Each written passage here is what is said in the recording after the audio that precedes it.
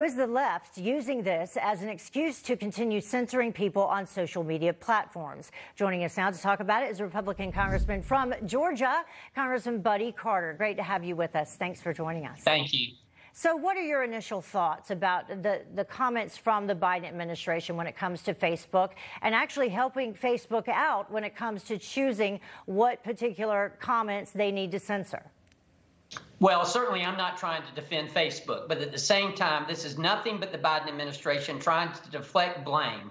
If they want to understand why there is vaccine hesitancy right now, if Vice President Harris wants to understand, all she needs to do is look in the mirror. She is patient zero for vaccine hesitancy. Remember back in October, she's the one who questioned the efficacy of this and said she would never take a vaccine that that had been uh, had been approved under the uh, Trump administration. Look, vaccines work. Vaccines are the single most life saving innovation in the history of medicine. Operation Warp Speed is one of the greatest medical achievements in our generation.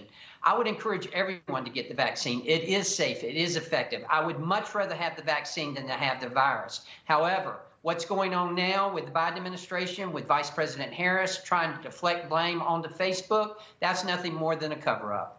Yeah, uh, Biden's Surgeon General also, uh, President Biden, I should say, his Surgeon General also claimed misinformation was a threat because lives were depending on it. Listen to what he had to say.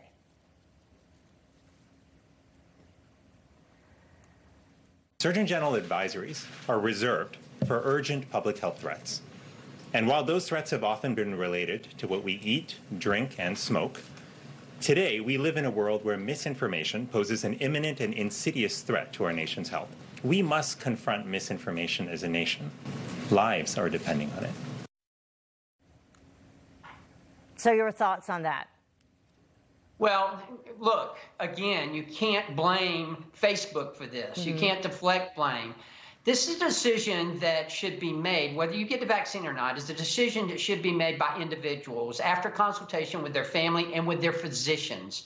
I encourage people to get vaccines. I myself went through the clinical trials to set a good example as a healthcare professional, as a member of the Doctors Caucus in Congress. I wanted to set a good example. I do believe in the vaccines. However, what's happening here is nothing more than the administration trying to deflect blame on what is really their fault. Vaccine hesitancy uh, exists today because of Vice President Harris and others who were saying that no, I would never take a vaccine that was that was approved under the Trump administration, which is simply ridiculous. It is safe and effective. And I do encourage people to talk to their physicians and consult with them to see if they could get the vaccine. So, what do you think is really behind this then? And, and we were actually efforting pulling that sound from uh, Vice President Harris because that was obviously during the debates. And, and, you know, she did say that. So, is she now going to be one of the ones that will be censored on Facebook, the very thing that they're calling to happen? Um, listen to this uh, before you respond to that. Uh, in addition, this is what White House Press Secretary Jen Psaki had to say about people being banned from certain platforms. Listen to this. You shouldn't be banned from one platform and not others uh, if you for uh, uh, providing misinformation out there. They're taking it a step further, and if I guess this administration or whomever determines you should be banned from one site, then you should be automatically banned from multiple sites.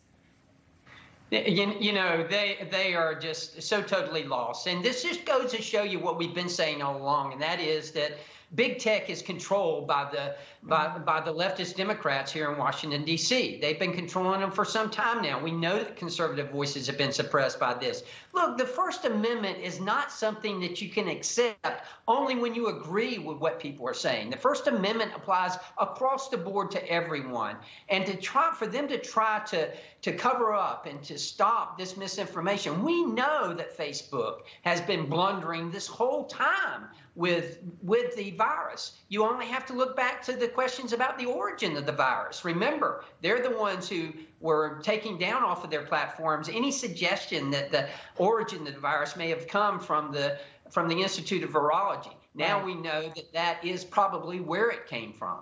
And so that opens up a whole nother area of concern because um, elements or, or information that you may consider misinformation now could be considered true later, which we've seen happen time and time again, not just dealing with the virus, but dealing with a lot of other issues as well on social media. Uh, one of those issues that does continue to get blocked or censored seems to be the results of all these investigations that are happening when it com- comes to election integrity in many different states, including your state, the state of Georgia. Can you bring us up to speed as what, what's really happening there?